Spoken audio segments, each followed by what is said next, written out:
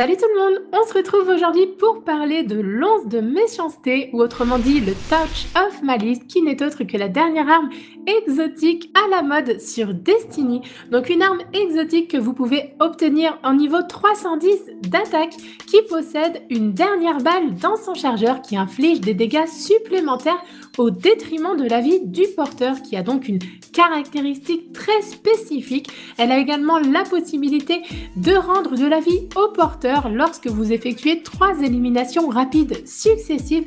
Une arme donc intéressante à posséder absolument. Je vais donc vous expliquer comment l'obtenir. Vous allez voir que ce n'est pas très compliqué. Cela demande simplement beaucoup de patience puisqu'il y a certaines étapes qui sont un petit peu plus longues. Première étape, il va donc falloir commencer par une quête d'Eris dans laquelle elle vous demande de récupérer 5 fragments calcifiés sur le cuirassé. À la suite de ça, il faudra lancer une mission d'une nom de code prométhéen dans laquelle il vous faudra affronter un cabal. Par la suite de ça, il faudra finir une première fois le raid. C'est probablement l'étape la plus compliquée de cette quête à l'exotique.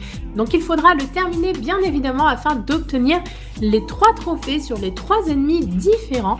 Étape suivante, il vous faudra armer de votre sac à dos, parcourir le cuirassé et récolter une cinquantaine de flocons d'adium et autres sports ou éléments d'armes. Donc pour ceci, nous avons déjà réalisé un petit tuto dans lequel on vous montre une zone de farm de coffres assez intéressante. Une fois cette étape terminée, ce n'est pas fini, il va falloir continuer de farmer et de récolter puisqu'on va vous demander de récupérer 30 fragments. Donc cette fois-ci, ça va être un petit peu plus long. Alors je vous ai mis dans la barre d'infos quelques vidéos de youtubeurs anglophones qui ont réalisé quelques chasses aux fragments. Donc j'espère que ça vous sera utile. Je vous ai mis également le lien du site Destiny Ghost Hunter. Donc pour savoir où vous en êtes, vous pouvez vous rendre sur la map du cuirassé et votre score sera indiqué en bas à droite.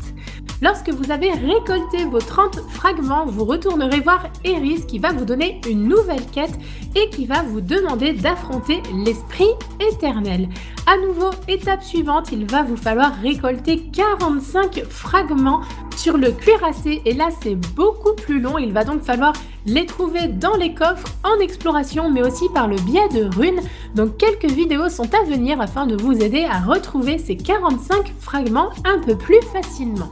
Lorsque vous avez collectionné la totalité de vos fragments, votre combat est pratiquement terminé. Il faut pour finir lancer une mission sur Phobos du nom de Étreinte de la peur dans laquelle on va vous demander d'affronter une énième fois l'écho d'Oryx. Votre quête est à présent terminée, vous pouvez vous rendre auprès d'Eris qui va vous offrir en récompense votre arme exotique ainsi qu'un emblème si vous êtes extrêmement chanceux. Comme toujours, n'hésitez pas à réagir dans les commentaires, un petit like ça fait toujours plaisir. Je vous fais de très gros bisous et je vous souhaite une très bonne soirée. Ciao tout le monde